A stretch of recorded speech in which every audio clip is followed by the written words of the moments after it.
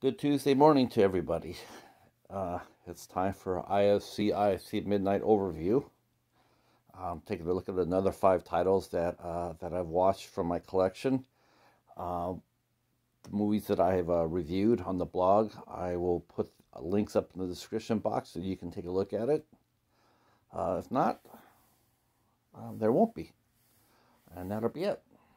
So let's get it going with uh, one of the most frustrating movies that I watched from my from IFC Midnight, and that's Pyewacket.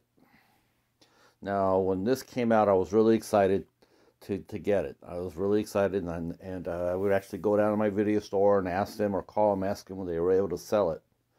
And so when they finally called me and said, "Hey, we can sell it to you now," um, I raced on down there and I bought it.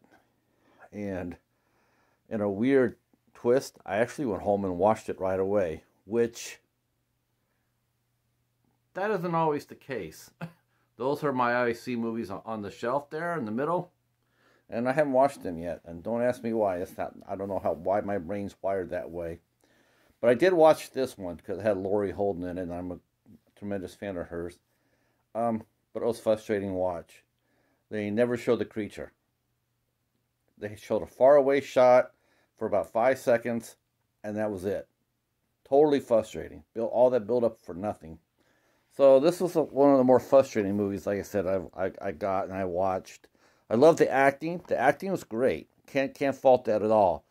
But the lack of the creature just really sank this movie. That's Pyewacket. And we did review it on the blog, so I'll provide a link.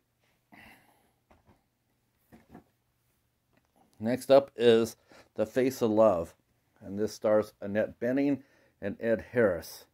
And this was a really sad and trippy movie.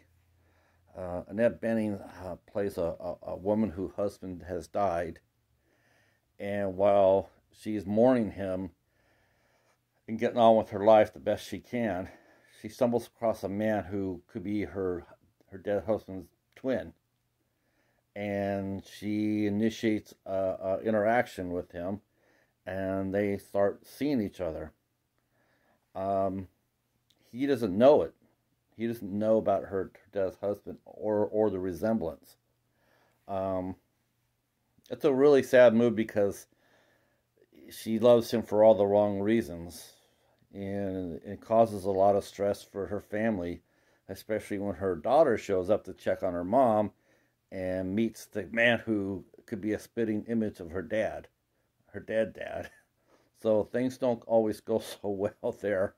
And then when he finds out what's going on, uh, the man, when he finds out, Ed Harris finds out what's going on, he's shocked and a little bit sickened at it, actually.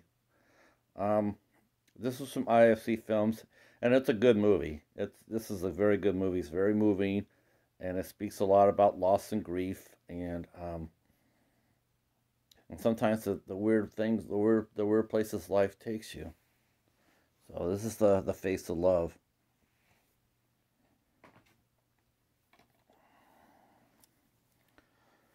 All right, this is a five to seven. I absolutely love this movie. Um, this is a brilliant movie, one of my very favorites, and one of the most bittersweet because it has Anton Yelchin in it uh, who you know from various other movies like The Green Room and and uh, and Star Trek and whatnot. But he he plays the lead here. Uh, he meets a young man who meets this uh, uh, this older married woman, and who's very French, and he initiates an affair. And the affair has its guidelines and rules, and um, and how he goes about it and how they go about it is is is, is a really great character study. Um, great performances too. Uh, Berenice Marjoli, Marjoli, I think Marjoli. Uh, she she starred in The Artist, and Lambert Wilson, who uh, played the uh, played in The Matrix, and uh, Olivia Thirlby and Frank Langella, who played with uh, Dracula. Um, so this is a great movie, one of my very favorites. Um, real tragedy that uh, Anton Yelchin died at only 27. He was killed when his car rolled on him and trapped him trapped him in the garage. Um, definitely can see where he could have been a, a romantic lead in the future. This is like one of his first leading roles. And uh, as far as this goal, as far as like an adult role goes, and uh, he was really, really good. He was really special, and I'm really sad to see him pass. But this is five to seven. If you get a chance to get it, highly recommend so. Highly recommend that you do so.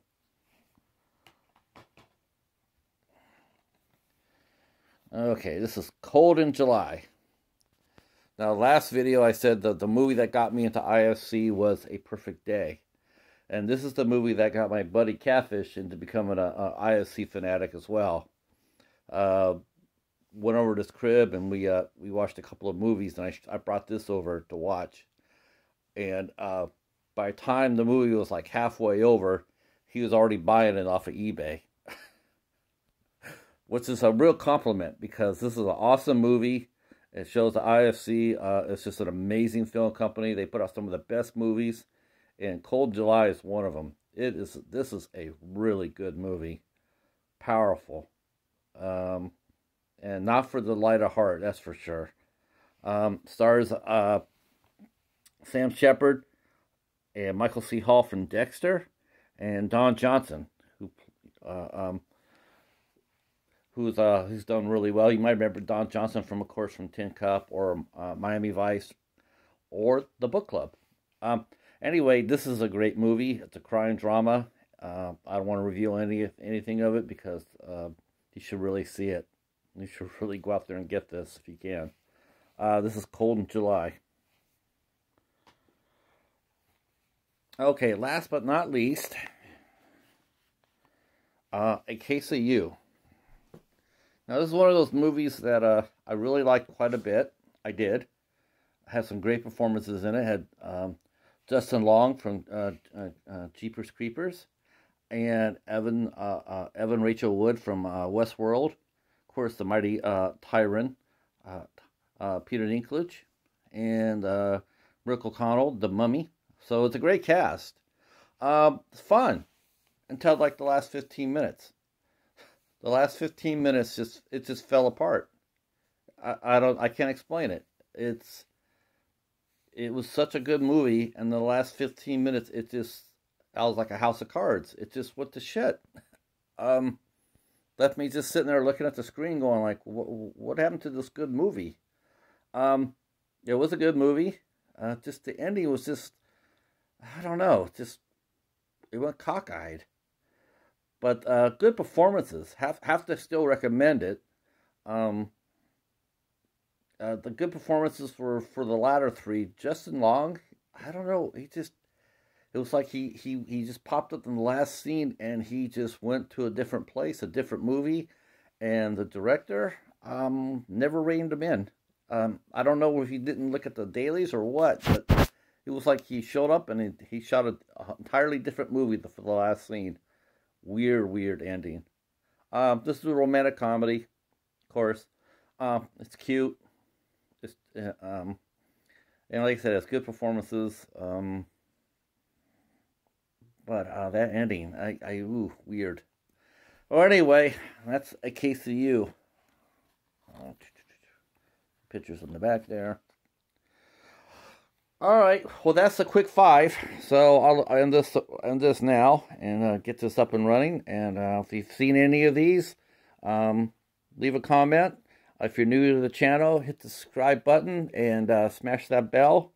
Um, if you're an IFC nut like I am, um, let me know. You know, uh, let me know if you review uh, movies or whatnot, and I'll come over take a look at your page as well. All right. Well, thank you so much for listening, and I'll see you on the bounce. Until then, peace.